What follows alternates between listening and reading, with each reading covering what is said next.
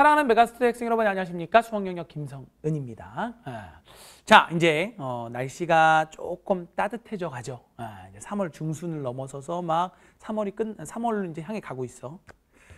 어, 3월 학평도 끝났고 그 다음에 날씨도 조금씩 따뜻해져.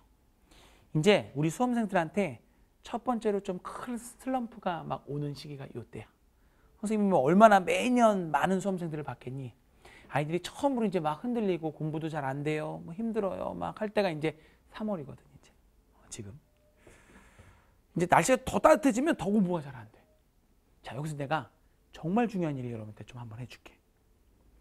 자, 이제 오늘, 선, 오늘도 이제 딱 그랬는데, 오늘도 선생님이 아까 전에 이제 부천 러셀에서 수업을 할 때, 낮에 이제 AM 단과 수업하는데, 낮이다 보니까 점심 먹고 나니까 이제, 이제 좀 우리 N수생도 좀 지쳐 있었어. 수업을 쫙 했어. 한 3, 40분쯤 한 것 같아. 근데 애들이 약간 좀 지쳐 보여. 그리고 선생님도 약간 좀 지치더라. 애들이 이렇게 푹 꺼지니까 나도 조금 푹 꺼져. 그래서 내가 조금 하다가 잠깐 끊고 갈까? 라는 생각이 들다가 아니다, 아니다, 아니다. 요까지 좀 한번 쫙 한번 끝까지 가보자 해가지고 야, 좀 힘내자, 힘내자 하면서 막 수업을 했어. 쫙 달렸어. 근데 말이야. 한 55분 정도 했거든. 55분. 그 3, 40분 때 조금 힘들었던 시기를 탁 넘기니까 그 다음부터 그래 이겨내자 하고 애들도 이제 이겨내자 하고 선생님도 자 하자 하자 하고 힘내서 딱 수업하니까 선생님도 수업이 너무 잘 돼. 그리고 우리 학생들도 어 하면서 들어. 그리고 한 55분 정도 딱 하고 자 쉬었다 가자고 딱 하나 딱 끝내고 쉬었어. 음 아주 뿌듯하더라고. 만약에 한 30분 40분 그 시기에 약간 좀 힘들 때 야 너무 좀 지쳤지? 자자 좀 끊어놓고 가자. 자 잠깐 잠깐 쉬었다 가자 하고 쉬었다면 선생님도 교무실에 가서 딱 앉아가지고 아 왜 이렇게 오늘 또 수업이 안 되지? 어, 애들도 이렇게 지쳐 있지? 하면서 내가 아 힘내야 되는데 하면서 좀 마음이 그랬을 것 같아.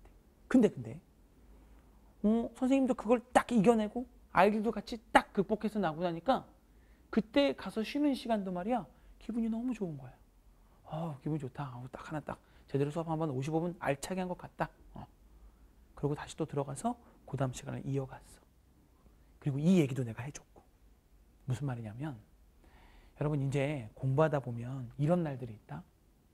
오늘은 정말 죽기보다 공부하기 싫을 때가 있어. 그리고, 야, 오늘은 컨디션도 너무 안 좋고, 오늘은 공부하는 것보다 그냥 쉬는 게 100번 낫겠다 싶은 날이 있어.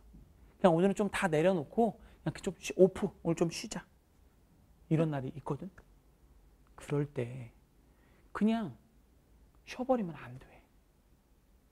그럼 쉬고 푹 쉬고 나면 그 다음 에너지가 충전돼서 공부가 잘 될 것 같아? 지금은 얘들아 날씨가 따뜻해지는 3월이야. 지금 되게 위험한 시기야. 슬럼프에 빠지기 너무 좋은 시기야. 그러면 그 다음 날쯤 되면 아 이제 어제 잘 쉬었으니까 오늘은 에너지 있게 해야지가 되지 않아요. 더 우울해지고 더 나락으로 떨어져.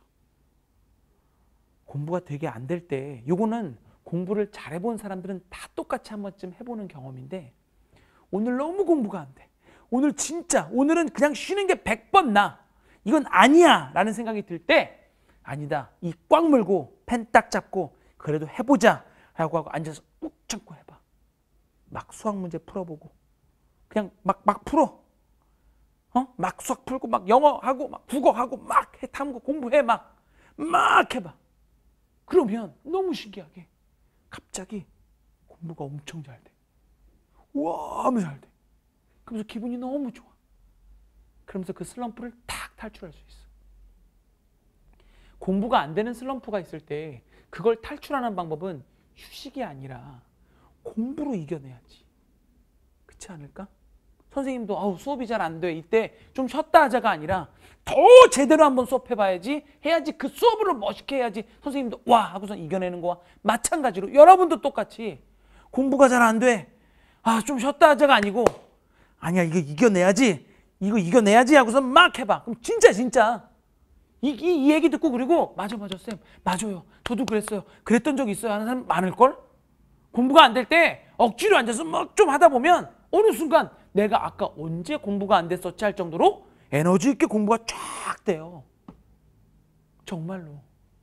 여러분, 요걸 좀 기억했으면 좋겠어. 오늘은 되게 짧고 강력한 캐스트인데 지금 여러분한테 주는 이 메시지가 여러분한테 큰 힘이 될 거야. 지금 어쨌건 이 캐스트를 클릭하고 듣는다는 건 제목 자체를 보고 지금 클릭했다는 건 아우 좀 공부가 좀 안 돼. 이래서 클릭한 거 아닐까? 아 이거 좀 공부가 좀 요즘 안 되지 왜 이렇게 힘들지? 자 지금 듣고 무슨 말인지 알겠지? 그래도 여전히 지금 공부를 하기 싫을 거야. 그러나 요 캐스트 듣자마자 듣자마자 공부 못하는 학생들은 항상 내일부터야 언제부터야 그거 아니다 계획 잡고 있는 거 아니다 이거 끊자마자 끊자마자 책 빨리 꺼내. 하기 싫겠지만 하자. 막 해봐. 오늘 자기 전에 꼭 뭘 해야 돼? 해야 돼. 지금 막 해봐야 돼 그렇게 막 한번 해봐. 그러면 너무 신기한 경험을 할 거야. 오늘 밤에 잘 때 선생님한테 고마워할 걸? 너무 고맙습니다. 와 너무 행복해요. 왜 힘들어? 공부를 안 하니까 힘든 거잖아. 왜 힘들어? 공부가 안 되니까 힘든 거잖아. 그럼 그걸 어떻게 이겨내? 몸이 피곤해서 쉬어야 돼? 아니면 정신교육을 받아야 돼? 아니면 계획을 멋있게 잡아야 돼? 어? 나한테 맞지 않는 강의를 들어서 그래? 나한테 맞지 않는 문제집을 풀어서 그래? 핑계 대지 마. 내가 공부를 안 하니까 힘들고 안 되는 거야. 공부를 열심히 하고 하면 다 극복돼. 정말 극복돼. 무슨 말 하는지 알겠죠? 지금 요거 듣자마자 끄고 바로 시작. 알겠어? 바로 시작. 바로 어, 엄청 열심히 해야 돼. 알았어? 어. 알겠죠? 음, 지금 혹시 3월 이제 고3 같은 경우 3월 학병 끝나고 좀 슬럼프가 와서 좀 이렇게 힘들고 막 오락가락 했었던 사람들 있으면 어, 아니야 이제 이겨낼 수 있어. 할 수 있어. 알겠죠? 음. 열심히 합시다. 어, 잘할 수 있어요. 음, 자, 그럼 바로 다시 약속. 요 끄자마자 바로 지금부터 시작하는 거야. 지금 이 시간부터 꼭 지금 자기 전까지 뭐래도 하나 꼭 하고 자는 거야. 약속. 알겠죠? 자, 시작합시다. 강의에서 만나요. 네, 고맙습니다.